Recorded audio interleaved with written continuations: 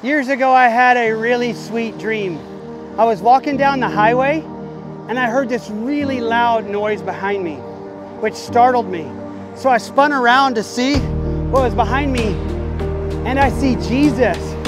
And Jesus has been beaten. I mean, he has been beaten so badly. He has blood pouring off of his face. He's out of breath. It was like he'd been walking for a long time.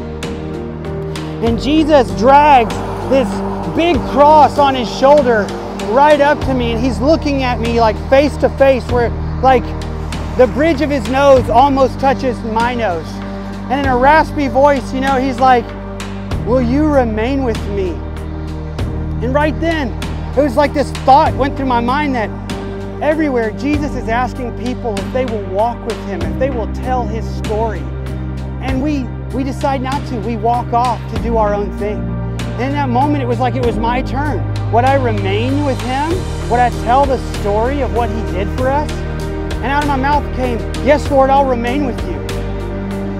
Years later, I would build a cross and I would put it on my shoulder and I would start walking anywhere and everywhere telling people that there is nothing Jesus wouldn't do for us. There is no price that he wouldn't pay for us. That you are worth the blood of God. He gave his very life to be with you. Now he's, ex he's extending the same question to you. Will you remain with him?